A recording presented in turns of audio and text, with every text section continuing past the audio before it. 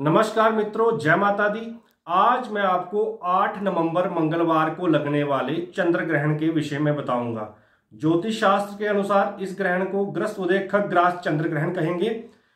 इस भूमंडल पर, यानी इस पृथ्वी पर, यह ग्रहण 8 नवंबर मंगलवार को दोपहर दो बजकर उनतालीस मिनट पर दिखाई देना प्रारंभ होगा और इसी दिन शाम को छह बजकर बीस मिनट पर समाप्त होगा।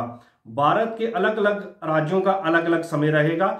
जम्मू कश्मीर में यह ग्रहण 8 नवंबर मंगलवार को शाम पाँच बजकर तीस मिनट पर प्रारंभ होगा, यानी दिखाई देना शुरू होगा, और इसी दिन शाम को छह बजकर बीस मिनट पर समाप्त होगा।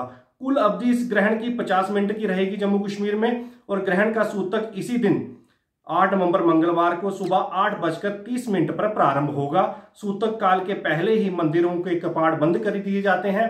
वहाँ पे कुशा अथवा तुलसी के पत्ते रख दिए जाते हैं और खाने पीने की वस्तुओं में जैसे आटा, चावल, सूखा राशन है, जैसे दूध है, दही है, मुरब्बा है, अचार है पानी में कुशा अथवा तुलसी के पत्ते डाल दें और सूतक काल में बालक, वृद्ध, रोगी, गर्भवती महिलाएँ भोजन कर सकती हैं और ग्रहण काल में अन्न ग्रहण किसी को भी नहीं करना चाहिए, कोई भी पाप कर्म नहीं करना चाहिए। विशेषकर गर्भवती महिलाओं ने विशेष ध्यान रखना है। उन्होंने नाखून, बाल फल, सब्ज़ी, कपड़ा आदि नहीं करना चाहिए और घर में एकांत में बैठकर चंद्रमा की छाया उन पर नहीं पड़नी चाहिए।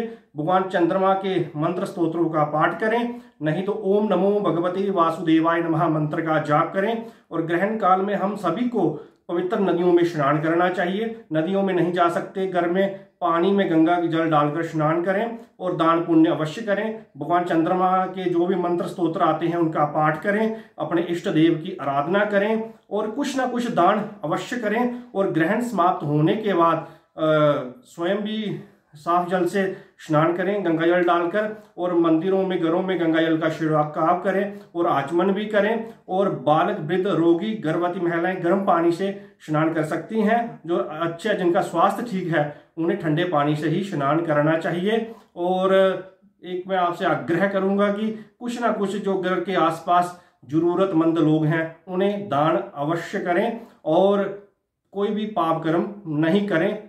जय माता दी।